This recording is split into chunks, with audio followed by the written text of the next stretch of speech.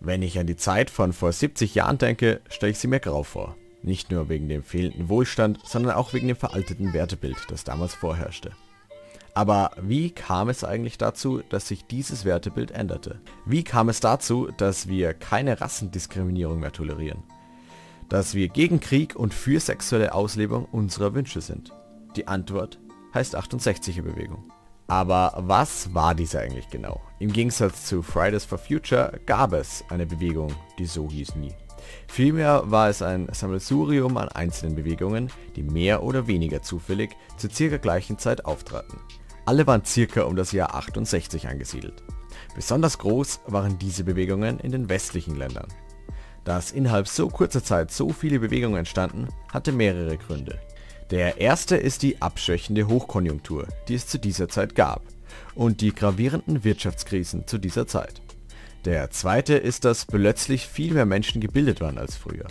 Der dritte ist, dass sich die Dekolonialisierung plötzlich beschleunigte. Der vierte sind politische Ereignisse, die wie die Kulturrevolution oder der Prager Frühling dazu führten, dass sich Leute eine neue Art der Politik wünschten. Aber schauen wir uns die 68-Bewegungen mal auf der Weltkarte an. In den USA waren die vorherrschenden Themen, die Leute auf die Straßen brachten, die Rassendiskriminierung und der Vietnamkrieg. Einen der bekanntesten Gegner der Rassendiskriminierung kennt ihr sicher alle, Martin Luther King. Dieser begann seine Arbeit bereits in den 1950er Jahren. 1968, an dem Höhepunkt der 68er-Bewegungen, wurde er am 4. April erschossen. Das zweite große Streitthema in den USA war der Vietnamkrieg. Dieser startete 1964 und eskalierte 1965 bis 1968. Die Giftwaffe Agent Orange wurde eingesetzt und sorgte für viele schlimme Schicksalsfälle. Das ging vielen Amerikanern zu weit. Am 15. April 1967 demonstrierten in New York 300.000 Menschen gegen diesen Krieg. Diese massiven Proteste weiteten sich dann auf viele weitere westlichen Länder aus und trugen maßgeblich zur Entstehung der 68er Bewegungen bei. Eine dieser Bewegungen, die damals entstand, war die Hippie-Bewegung. In Mexiko drehten sich die Proteste der dort entstehenden Studentenbewegungen hauptsächlich um die allein regierende Partei PRI. Die Studenten wollten deren Macht endlich brechen. Am legendären Schweigemarsch Mitte September 1968 beteiligten sich über eine halbe Million Menschen. Trotzdem endeten die Proteste nicht erfolgreich. Etwas später wollte der Protestführer eine Rede vor 10.000 Menschen halten. Als er auf die Bühne kam, eröffneten versteckte Scharfschützen das Feuer auf die Polizei, sodass diese dachte, dass die Demonstranten angreifen.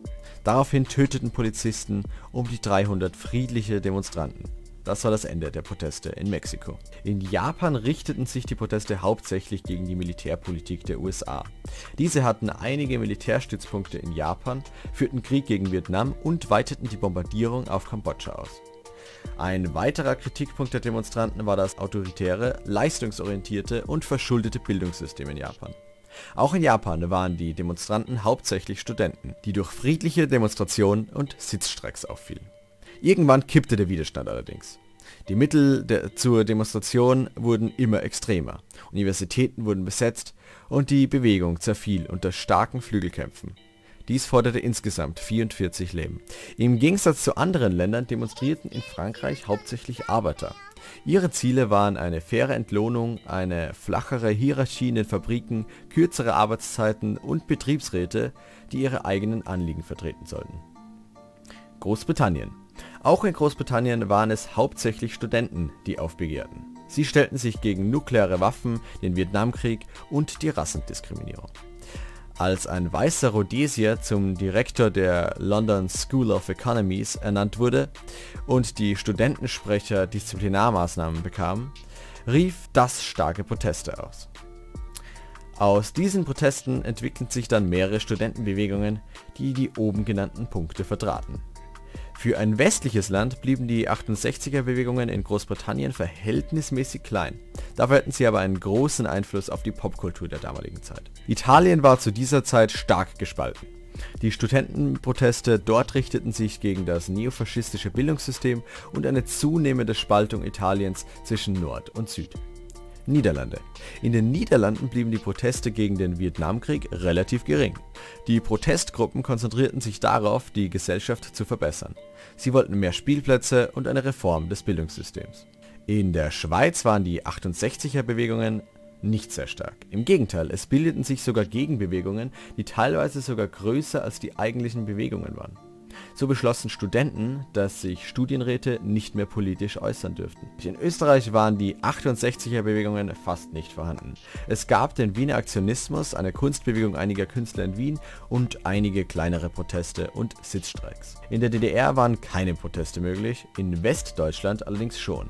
Westdeutsche Studentenbewegungen forderten mehr Demokratie, protestierten gegen den Vietnamkrieg, wollten tiefgreifende Hochschul- und Bildungsreformen, die sexuelle Selbstbestimmung, ein Ende der autoritären Erziehung, eine Aufklärung über den Nationalsozialismus und eine klare Haltung gegen Faschismus. Diese Forderungen, verknüpft mit den dazugehörigen Protesten, riefen, wenn auch die meisten Forderungen nicht erfüllt wurden, einen langfristigen Wertewandel herbei, der bis heute wirkt. Schauen wir uns einmal ein paar Aktionen und Gedankengänge der damaligen Zeit genauer an. Ein legendäres Beispiel für Proteste zum Thema Bildung ist Unter den Talan, Muff von 1000 Jahren. Das war die Aufschrift, die auf einem Transparent stand, das vor den Lehrstuhlinhabern einer Universität hergetragen wurde, während diese ihren neuen Rektor feierten. Da es vor ihnen hergetragen wurde, konnten sie es nicht lesen. Und bis sie merkten, was darauf stand, waren schon massig Fotos geschossen worden, die diesen Moment für immer festhalten. Unter den Talan, damit waren die Lehrstuhlinhaber gemeint, die feierliche Talan trugen. Muff von 1000 Jahren. Das ist ein Hinweis auf das Dritte Reich und kritisiert die nicht vorhandene Aufarbeitung eben dieses. Während den 68er Jahren fand auch die sexuelle Revolution statt. Diese war eine Enttabuisierung der Sexualmoral und schuf Toleranz und Akzeptanz gegenüber sexuellen Bedürfnissen und der sexuellen Orientierung von Menschen. Eine unerwartete Folge der sexuellen Revolution war, dass die Prostituierten alle pleite gingen. Innerhalb von wenigen Jahren verloren über die Hälfte ihren Job. Aber es gab auch erfreulichere Folgen. Schwule wurden immer mehr akzeptiert und auch äh, Frauen bekamen mit der Zeit immer mehr Rechte zugesprochen. Sie fielen durch spektakuläre Proteste auf und waren für Schlagwörter wie Mein Bauch gehört mir bekannt. Mit letzterer Aussage demonstrierten sie gegen den Paragraphen 218, der einen Schwangerschaftsabbruch verbot. Eine Bewegung, die vor allem in Deutschland erfolgreich war, war die Anti-Atomkraftbewegung. Diese brachte die Bevölkerung in Deutschland dazu, gegen die Atomkraft zu sein. In Frankreich gab es eine ähnliche Bewegung, die allerdings keinen Erfolg hatte. Die letzte Bewegung, die wir uns heute ansehen, ist die Umweltbewegung. 1970 startete das Europäische Naturschutzjahr, eine Umweltkampagne mit über 200.000 Aktionen. Sie gilt als Geburtsstätte des modernen Umweltaktivismus.